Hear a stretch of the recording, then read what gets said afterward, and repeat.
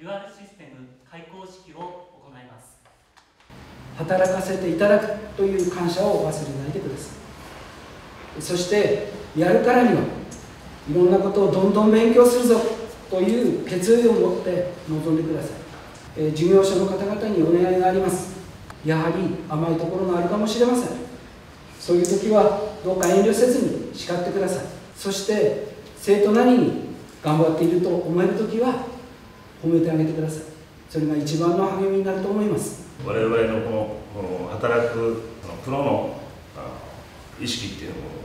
かなりこう体感できると思います。昨年末子どもからデュアルシステムの授業に参加したいと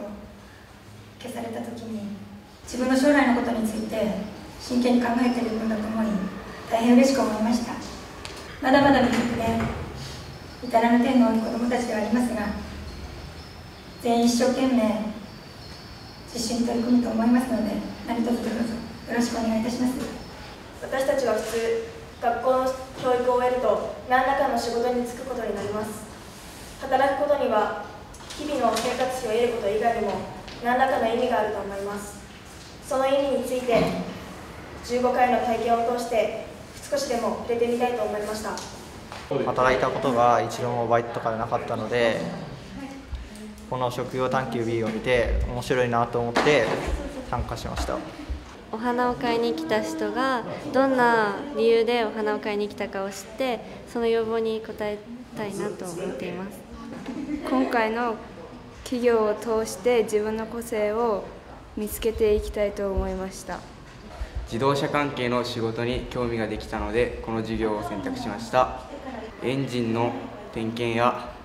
えー、タイヤの交換やオイル交換などについて楽しみにしています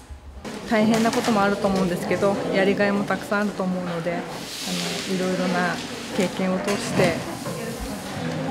将来役に立つ体験だと思うのであの頑張っていただきたいと思います。はい。と子どもたちはとっても可愛いので緊張せずにあの来てください。笑顔を大切に来てください、えー、職場ではいろんな失敗もすることだと思います。素直な気持ちになって先輩たちの教えを聞いてそしてたくましくなって帰ってきてほしいなと考えています。